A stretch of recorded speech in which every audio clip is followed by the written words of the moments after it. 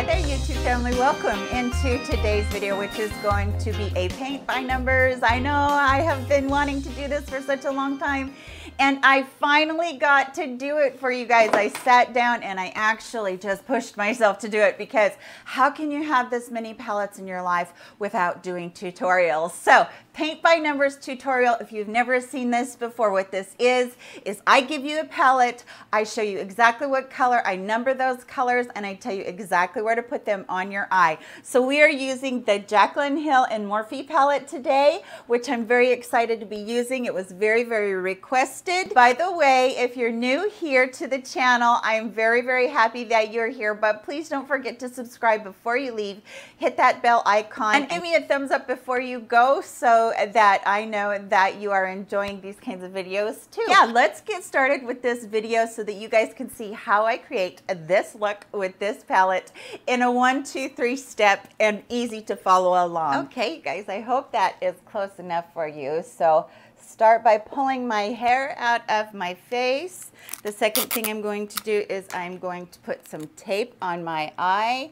Um, if you see me looking a little bit to the side there, it's because I have a monitor on my camera that's really small, and I have a tendency to make sure that you guys are still in frame and glance at it a lot. So I try not to do that, but sometimes I get to doing it too much. Okay, and so I'm going to place that tape, um, and it's just like always, you guys.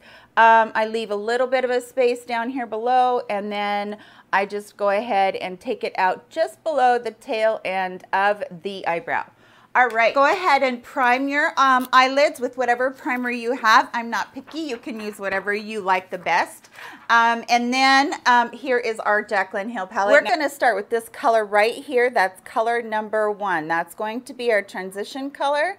And um, we're just going to use a very, very fluffy brush. This is the Morphe um, E27. I've been loving using a very fluffy brush for my transition colors lately because they have just been blending out so pretty.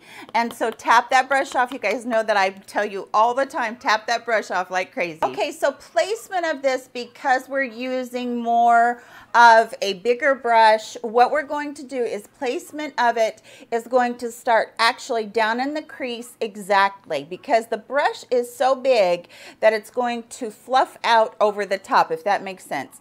And we're just going to start in the corner there and we're going to continue to push that across. Um, I don't do windshield wiper motions because I find that my eye creases because of the crepiness in it. So I will work in little tiny motions as opposed to back and forth really quickly. Notice I'm, I am raising my eyebrow. I do that because again, my eye, um, I do have crepiness on my eye and it folds over a little bit. And so again, just really working in back and forth tiny motions. You can do circular if you want, but I find that this fluffy of a brush, it does really good with this back and forth, back and forth, back and forth pushing motion. And then I come over here and instead of going back and forth right there, I'm actually pushing kind of up and down and with the contour of the eye a little bit more. So do a love this fluffy brush. And the other nice thing about it is I don't have to work so long on putting on that transition color. It really does it just about for me. So it's just really, really beautiful on how well it does. And then I'm just going to go across the top there and kind of transition it into up by my eyebrow. This is a Benefit Highbrow pencil. Um, you don't have to ha actually use this part. You don't have to do this this part if you don't want to. I love doing this part personally. Um, just want to just kind of, you know, lift my eyebrow a little bit with a light colored pencil. You could do this with any color eyeshadow you wanted, but I like the pencil. It, I just seem to have a little bit more precision with my hands and the way that they shake. You could pick up any jumbo pencil you wanted to. It doesn't have to be a Benefit one. You could pick up any drugstore one you wanted to. Color number two. Color number two is going to be this color right here. It is a kind of a light cream color. I really like this. So I am actually going to pick up that color right there, that white color right there with my with my finger, just picking it up with my finger right here. And I always do this on my lid color. It just, it lays down color easier. I start at the lash line and I just start to push it across my lash line. And then right here, I go in a little bit of a diagonal. And um, the reason I do that is because I'm going to bring that contour shade over top of it. And then I'm just going to come over quite a ways into the um, corner of the eye there. Now stick with that color number two. Pick up a flat paddle brush. This one doesn't have a name, but just any sort of a flat paddle brush. Pick that up and we're going to do the inner corner highlight.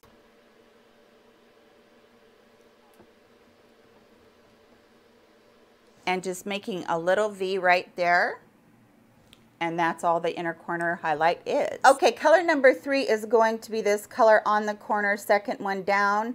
Um, I really, really like this color. It's just a warm brown, and we're going to put that in the crease, and we're gonna warm up the eye with that color right there. And taking just a small shader brush, you're going to dip that into there lightly, not too much, and of course, as always, tap off like crazy. And we're gonna go right down into this corner. Now, the reason that I use this tape, this is the magic of the tape for me, is that now I'm not gonna be making mistakes and bringing it down too far.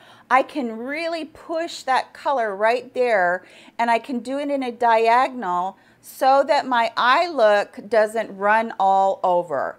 And I just love this technique. So I'm going to pull that color all the way over lightly. After I have placed more, most of that color down with my brush and really pushed it into that corner, I'm going to pull it over my into my eye a little bit and then pull it up on that corner a little bit as well. And again, I'm not doing any sort of windshield wiper motion, just pushing and doing very, very small strokes. I didn't use that many colors for this look. I'm actually only using four total colors for the whole look. Next thing I'm going to do is I'm going to take my Marc Jacobs highliner. This is in Blacquer, I think, or blackest black.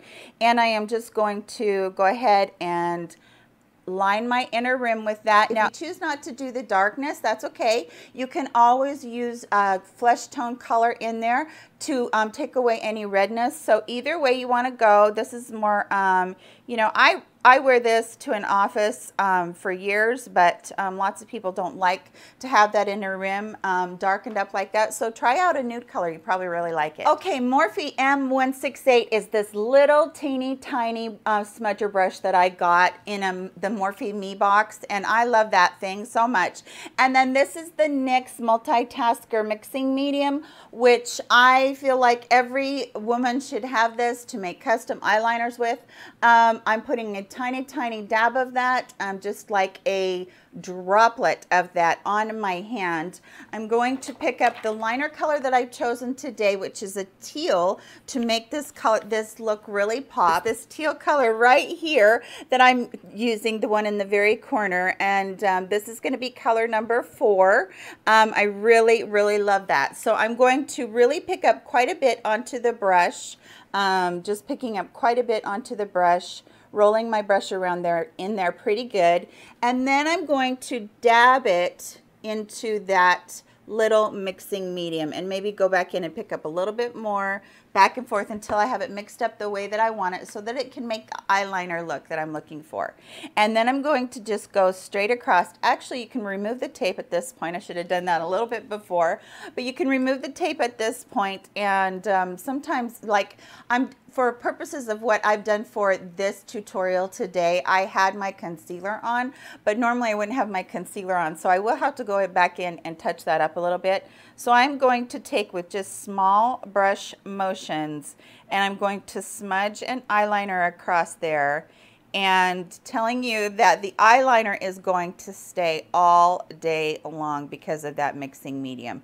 It seems to be not only smudge proof, but it seems to be long, long wearing and almost waterproof, which I absolutely love. And I really smudge it close to that bottom lash line. Just absolutely love this stuff.